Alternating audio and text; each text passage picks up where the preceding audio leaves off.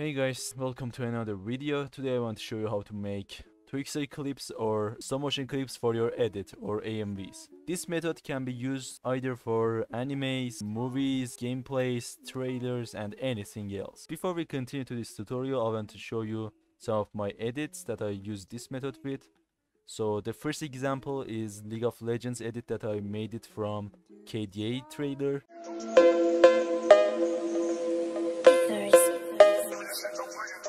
As you can see, that was quite the smoothest Twixtor or stop motion clip that I ever made. I will put that edits link in video right now. You can click it and watch it for yourself. Go ahead and install Twixtor Pro on your After Effects.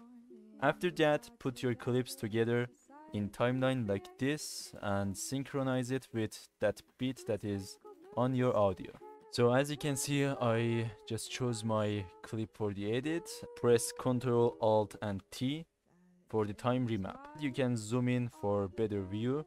So right now you're gonna press add keyframe for the first frame. You need to find another movement for it. For example, in this in this clip, Irelia just moves after one frame. So you're gonna mark that. After that, there is no movement as you can see. Right now, there is no movement on the second frame. So we go another frame, yeah. After two frames, Irelia makes and move. So you're gonna frame that too. Just like this, you need to continue. Yeah. On the day that you were born, angels got together and decided to create a dream come true. So they sprinkled. Yeah, just like that. After you marked every frame of your favorite character, you need to zoom in more and put all these frames together one by one. For example, this one needs to go here, this one here, this one at here, just like this. Just like me, they long to be close to you. Yeah. After this, you need to right click on it and press pre-compose and you need to check this part but not this one okay? Especially when you're on the second bit of your music. Just don't press adjust composition during to the time span of the selected layers. Just don't do that. Press ok and now here is the magic gonna work. Search on your effects and presets tab the twixtor pro and put it on your first layer. Uncheck this FPS and put it on 60 or whatever you want. I especially make it 60 to the better smoothness, but you can do whatever you want. For example 30 or whatever. Go to the warping section and press forward. The way that I make my Twixtors are a little bit different than other YouTubers.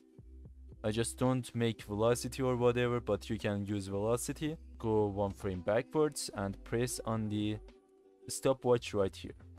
So you go one frame forward to the screen that it's play and make it 120. We want to make the first half of the clip to move fast and the other half to make it uh, slow motion. I think 120 is enough, but if you want, uh, you can go more of it. For example, 150 or 180 or something like that.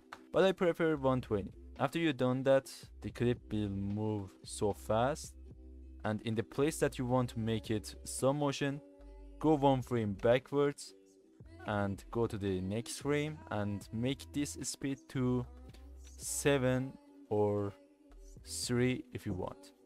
It depends on how much slow motion you need. So now let's check how it is. Yeah. As you can see it's a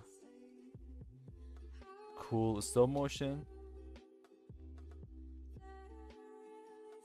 For example, this Evelynn shot from the trailer doesn't have any movements that are crazy or something and it's really smooth. This scene with Evelynn is clear too and it really looks amazing.